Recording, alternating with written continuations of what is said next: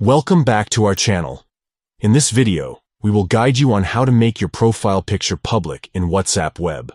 Let's get started. Step 1. Open WhatsApp on your computer by launching the WhatsApp Web application. Step 2. Next, click on the three dots located at the top left corner of the screen to open the menu. Step 3. From the menu Options, select Settings to access the WhatsApp web settings. Step 4. Within the Settings menu, click on Privacy to manage your privacy preferences. Step 5. Now, locate and click on Profile Photo to customize your profile picture visibility settings. Step 6. Check the circle next to everyone to make your profile picture visible to all WhatsApp web users. And there you have it.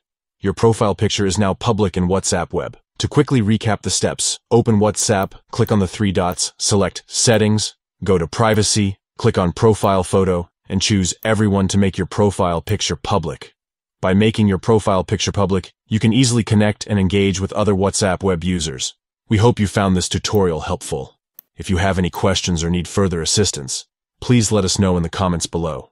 Don't forget to subscribe to our channel to stay updated with the latest WhatsApp tips and tricks. Thanks for watching.